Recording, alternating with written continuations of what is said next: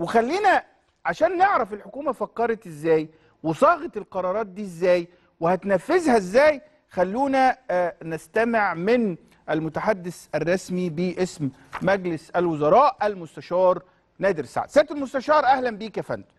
مساء الخير دكتور محمد أهلا بحضرتك. آه، يعني أنا عارف إنه ال- المجهود ضخم جدا على كل الوزارات الحقيقة لأن إحنا بنواجه وباء شرس. بس أنا عايز أسأل حضرتك بعض الأسئلة يعني ال- اتفضل. الفكرة أو الفلسفة الأساسية اللي اتخذت على عليها هذه القرارات تحديدا مش قرارات غيرها. يعني أنت عارف انه الناس كانت منتظرة يمكن قرارات أخرى أكتر حتى صرامة يعني.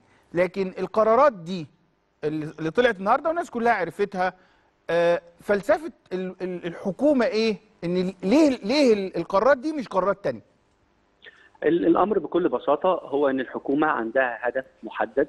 وهو تطبيق إجراءات احترازية آه، تراعي الوضع الوبائي اللي إحنا فيه. لكن في نفس الوقت ما ما تكونش من ضمن حزمة القرارات أي قرارات تؤثر على النشاط الاقتصادي تمام لأن إحنا لسنا دولة بترولية تحتمل إغلاقات لمدة طويلة مم. لسنا دولة من يعني لديها وفرة من من الاحتياطيات والعمولات تمكنها إنها تقرر عملية إغلاق سواء جزئي أو كلي وفي نفس الوقت لا تتأثر بهذا الإغلاق. نحن مم. دولة تعتمد في الأساس على يعني سواعد أبنائها ونشاطها الاقتصادي في الحياة وإحنا شفنا الفترة اللي فاتت الفترة الموجة الأولى اللي اتخذنا فيها إجراءات كانت حتى مش مش غلق كلي ولا حاجة لا كان إغلاق آه، يعني جزئي.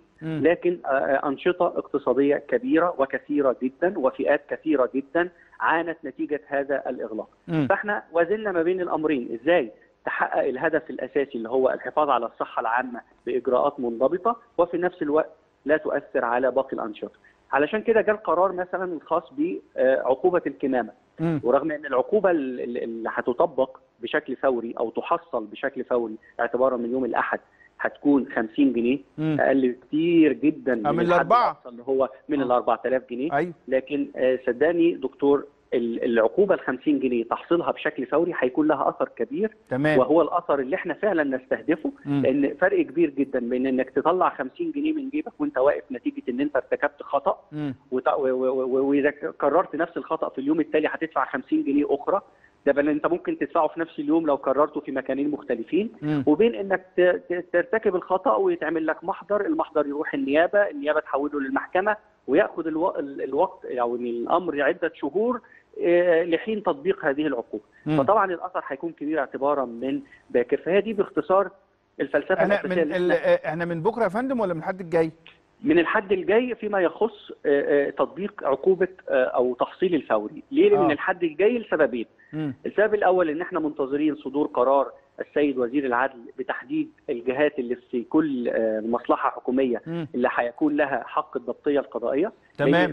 تمام لأن أنا أنا كنت أسأل حضرتك عن آليات تطبيق هذا القرار يعني هنطبقه. إزاي تمام اتفضل تمام طبعا هيصدر الأول قرار من رئيس الوزراء بالنص على هذه ال- الآلية مم. ثانيا يصدر بعد ذلك قرار من آه، السيد وزير العدل المستشار عمر مروان يحدد في كل جهة مصلحة حكومية من الذين سيمنحوا حق الضبطية القضائية لأن. القرار ده مش هيوقع بس في في القطارات وفي ال- في الاتوبيسات الشوارع. وفي المترو لا لا في الشارع لا في آه. ال- المواطن في الشارع ليس هناك إلزام عليه كويس ارتداء دي, دي. نقطة حلوة آه. لأنه الناس تخيلت إيه إنه حد ممكن يوقفه في الشارع فيقول له أنت مش لابس كمامة أدفع ففي الشوارع لا, لا ما حدش لا الشوارع لا ما حدش. هيوقف مواطن يقول له أنت مش لابس الكمام تمام أيضا آه، آه، آه، ارتداء الكمامة ليس الزاميا لمن يقود سيارته الخاصة يعني لو تمام. حضرتك سايق سيارتك الخاصة ليس عليك إلزام قانونا في ارتداء الكمامة لكن تمام. لو حضرتك راكب تاكسي أو راكب أي مواصلة عامة آه، هناك إلزام في ارتداء الكمامه تمام.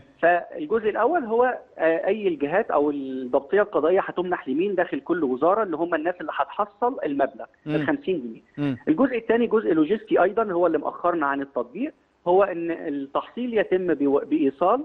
فإحنا في مرحلة ال- الآن طباعة هذه الإيصالات وختمها بختم شعار الجمهورية لتكون إيصالات رسمية فالوضع ده هياخد بعض الوقت.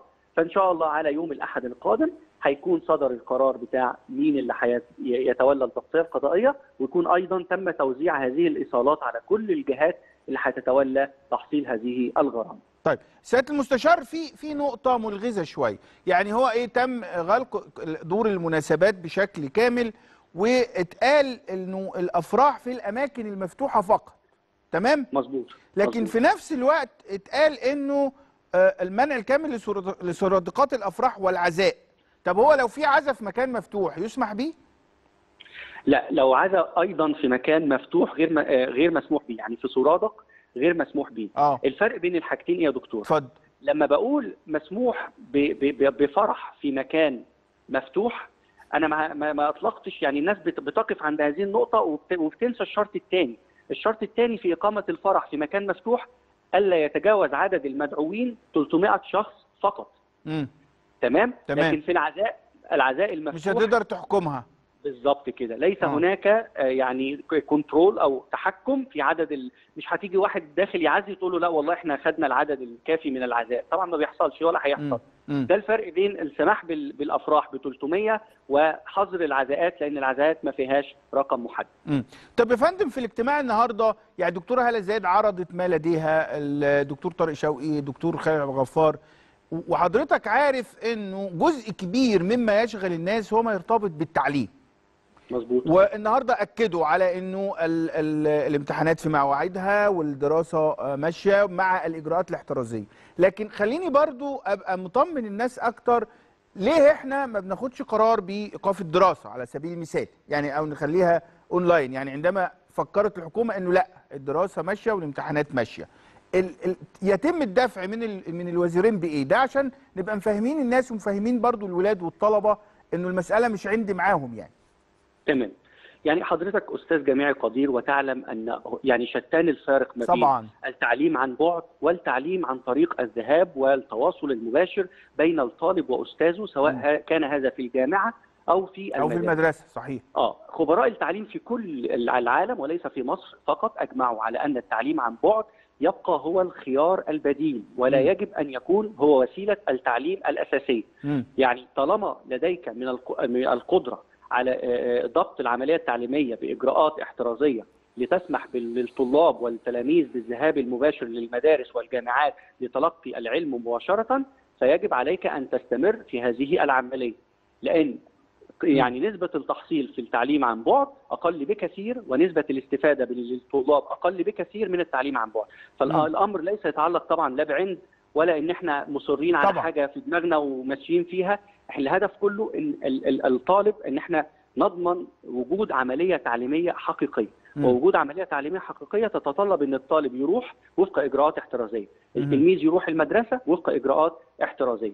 ويعني القرار الأخير اللي اتخذه الدكتور طارق شوقي برفع الغياب في المدارس يعني أعتقد ده قرار برضو ده, مريح شوية آه آه اراح فئة كبيرة من في الأسرة المصرية اللي هو شاعر بقلق يعني شديد على أبنائه أو أو ما شابه مم. يستطيع إن هو يعني يقرر أن يبقيهم في البيت ولن نلومه على ذلك هذا مم. قراره ويستكمل العملية التعليمية عن طريق الوسائل المختلفة اللي بتتيحها وزارة التربية آه، والتعليم. طيب آه، ن- نقطة أخيرة يا سيادة المستشار معلش أثقلت عليك. لا خالص. وهو موقف اللقاح الآن. يعني إحنا جه الشحنة الأولى والناس عندها أخبار إنه في شحنات في الفترة القادمة. موقف اللقاح والحكومة هتتصرف إزاي في الأيام اللي جاية؟ طيب الشحنة الأولى اللي حضرتك ذكرتها يعني هي تظل شحنة قليلة بنتكلم عن 50000 50000 جرعه آه. آه إحنا منتظرين إن شاء الله ل- ل- لكي تصل هذه الجرعات لحد أدنى نصف مليون جرعة. وكنا كان كنا هنوصل لهذا العدد خلال شهر ديسمبر خلال يعني قبل 31 ديسمبر كنت كنا منتظرين نصل لنصف مليون جرعة. لكن بسبب بعض العوائق اللوجستية التي تخص الشركة الموردة تأخر أو هيتأخر هذا الأمر لبضعه لبضعة أيام فقط يعني. مش مش لأسابيع ولا شهور ولا. أي حاجة. فأول ما هنوصل لنصف مليون جرعة من اللقاح الخاص بش- بشركة سينو فارم ستقوم وزارة الصحة بالإعلان عن الجدول الخاص بالتطعيمات والفئات المستهدفة. ويروحوا كل واحد هتوصله رسالة على الموبايل أو اتصال تليفوني روح للوحدة الصحية الموجودة في المكان الفلاني لتحصل على هذه أو تحصل على الجرعة. وبعدها آه. ب 21 يوم رسالة أخرى للحصول على الجرعة الثانية. إمتى ده هيحصل؟ لما نوصل للحد ال- الأدنى اللي إحنا عايزينه اللي هو لنص مليون. آه. نصف مليون جرعة، هل دول هيكونوا آخر حاجة؟ لا طبعا إحنا فاتحين قنوات مع ثلاث شركات عالمية مختلفة تصنع ثلاث لقاحات مختلفة والمفاوضات جارية مع الثلاث شركات لتأمين احتياجات مصر من هذه اللقاحات ده طبعا بالإضافة للشحنه اللي إحنا أو الصفقة اللي إحنا ضمناها بالفعل اللي هي. مع تحالف جافي للأدوية. اللي هم 20 مليون جرعة هيصلوا في النصف الأول من العام القادم يبقى إحنا. عندنا 20 مليون جرعة من تحالف جافي ربما هيبتدي وصولهم على إبريل أو مايو ولدينا جرعات سنحصل عليها بالشراء المباشر من ثلاث شركات عالمية مختلفة. مختلفة. طيب خليني آه، خليني. آخد أيوه بالظبط. لأن أنا عاوز أوصل لفكرة إيه؟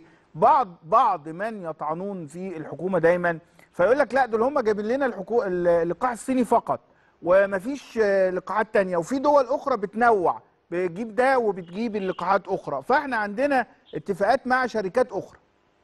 بالعكس ده إحنا من أكثر الدول تنوعا. يعني تمام. ثلاث ثلاث لقاحات في دولة على فكرة ده يعني تقريبا الحد الأقصى لأي دولة وصلت له حتى الآن.